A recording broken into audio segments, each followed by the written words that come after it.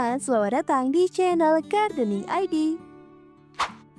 Siapa di sini yang suka banget makan pecel lele atau lalapan? Nah, pasti nggak asing dong sama daun yang wangi banget ini. Yap, apalagi kalau bukan kemangi.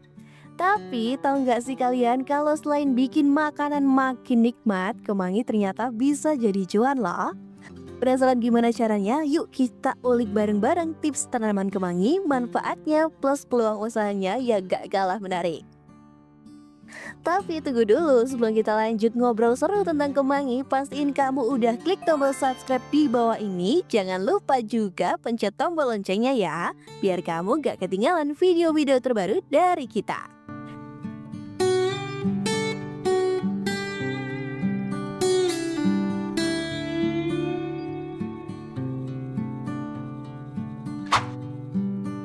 Kemangi ini ternyata gampang banget ditanam loh, cocok buat kamu nih yang baru coba-coba jadi petani dadakan di rumah. Tanaman ini nggak manja, cukup air secukupnya, sinar matahari yang cukup, dan kasih sayang. Ngomongin manfaat kemangi, si kecil ini tuh beneran kecil-kecil cabai rawit loh. Ini dia 10 manfaat yang wajib banget kamu tahu teman-teman, jadi aku menanam bunga kemangi ini itu dengan media tanah dan juga menggunakan pot bekas. BTW, pot bekas ini itu dari bekas galon yang ada di rumah aja, jadi lebih murah kan?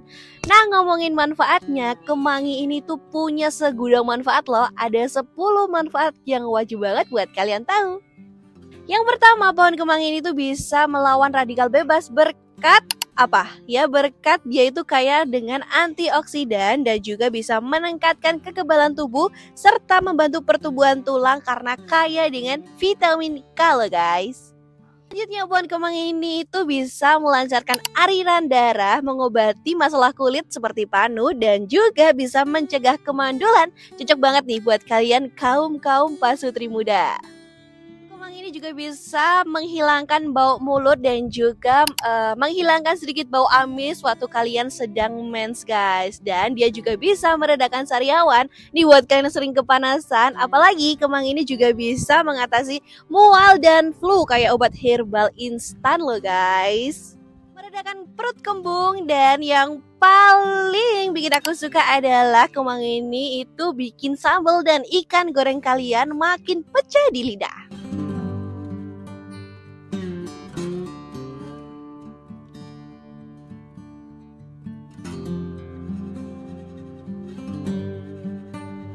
Kalau manfaatnya aja udah bikin kamu tertarik, sekarang aku kasih tahu nih tips gampang buat budidaya kemangi di rumah. Simple banget, cocok buat kamu yang gak punya pengalaman nanam sekalipun. Yang pertama pastinya pilih biji kemangi berkualitas dari supplier terpercaya. Yang kedua, semai di pot kecil atau polybag, siram secukupnya, jangan lebay ya. Setelah tumbuh 2-3 minggu pindahin ke tanah atau pot lebih besar. Simpan di tempat yang dapat sinar matahari cukup tapi nggak terlalu panas ya. Dan yang terakhir, rutin siram pagi dan sore biar daunnya seger terus. Gak perlu kebun luas, nanam di balkon aja udah cukup kok. Yang penting sabar dan konsisten ya. Kalau udah paham cara tanamnya, kamu tinggal tunggu deh sekitar 6-8 minggu buat panen daun segarnya. Dan ini bagian paling seru, gimana caranya kemangi bisa jadi cuan? Nih, kita kasih bocorannya. Jadi peluang usaha dari kemangi itu banyak banget, banyak banget Besti. Yang pertama, jual daun kemangi segar ke pasar atau restoran lalapan. Yang kedua, olahan kemangi kering laku banget loh buat teh herbal atau bumbu.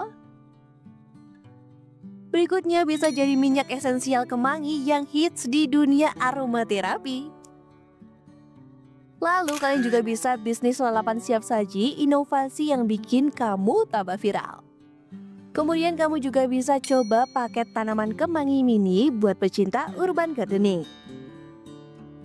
Dan yang terakhir atau kalian bisa coba buka lapak di marketplace seperti ini guys.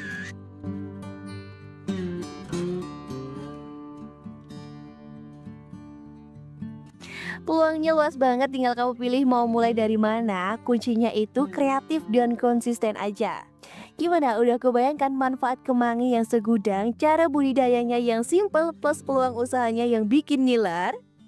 Kalau mau mulai sekarang, aku udah siapin link lengkap di deskripsi mulai dari supplier benih bibit sampai info harga pasaran daun kemangi terbaru biar cuan makin deras. Jangan lupa like, komen, dan subscribe ya biar gak ketinggalan tips-tips hijau lainnya. Sampai ketemu di video berikutnya dan jangan lupa tanam dulu panen untungnya belakangan.